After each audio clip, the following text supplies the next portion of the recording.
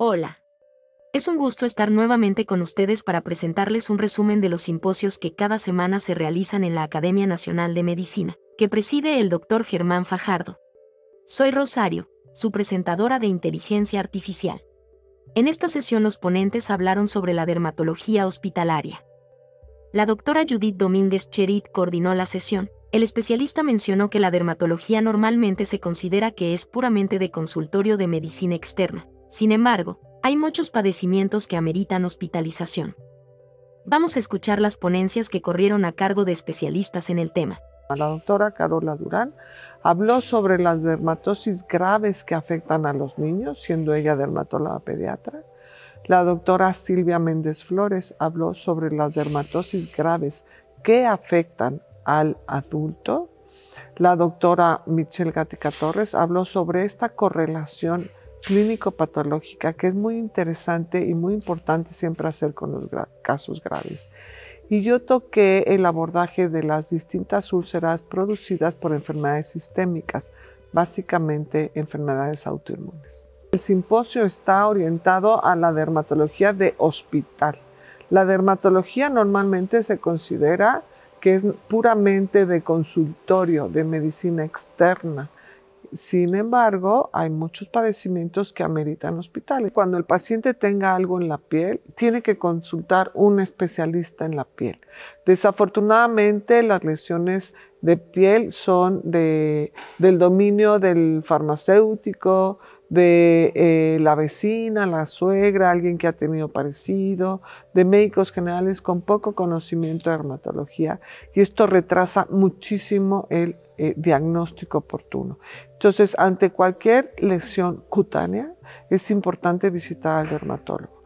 Una vez que están con el dermatólogo, es importante decir todos los síntomas que tienen y todo lo que han tomado porque como vimos en el simposio, muchas de estas enfermedades graves son por medicamentos y muchos medicamentos son automedicados. Entonces los pacientes no consideran a los antigripales de venta fácil o a las vitaminas o a los múltiples medicamentos que toman incluso para el ejercicio como productos que puedan ocasionar daño. Entonces, siempre tener en cuenta todo lo que tomen, todos los síntomas y todo lo que se han hecho.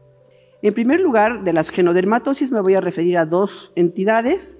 La epidermolisis ampollosa, que es una genodermatosis que está, eh, está genéticamente determinada y hay muchas formas clínicas, pero me voy a referir a la más grave porque dependiendo del nivel donde la piel tiene el defecto en sus, eh, uniones intercelulares, a ese nivel se va a separar. La simple, pues evidentemente es la, la, más benigna, está en la epidermis. La de unión es precisamente la unión dermoepidérmica, desprendiendo toda la epidermis. Y la distrófica, que es más profunda, es subepidérmica y entonces lo que esté desprendiendo la mayor parte de epidermis van a ser las más graves. Para empezar, pues es importante definir que la insuficiencia cutánea se define como una disfunción total de la piel y se considera como una consecuencia de varios trastornos dermatológicos primarios. A menudo se complican con sepsis, disfunción orgánica adicional, así como es una causa importante de muerte. Independientemente de la etiología de esta insuficiencia cutánea, pues lo característico es que hay una pérdida en la función de la piel que es como una barrera y la homeostasis y el equilibrio hidroelectrolítico. Entonces deben de estar manejados en centros especiales de quemados o en su defecto en unidades de cuidados intensivos.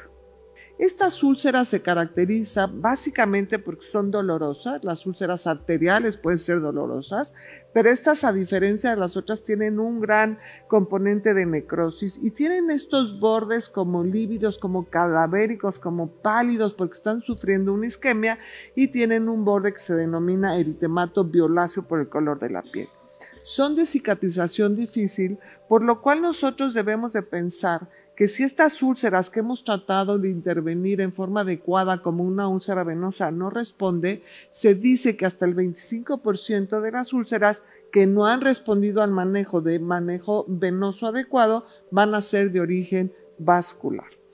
Cuando nosotros eh, nos enfrentamos a una laminilla de dermatopatología, podemos enfrentarnos a tres escenarios. Uno, que sea una enfermedad por depósito. Dos, una enfermedad tumoral. Y tres, una enfermedad inflamatoria. Las dermatosis, por lo general, cuando son graves, tienden a ser dermatosis inflamatorias, pero puede haber dermatosis tumorales o por eh, depósito que pongan en riesgo la vida del eh, paciente.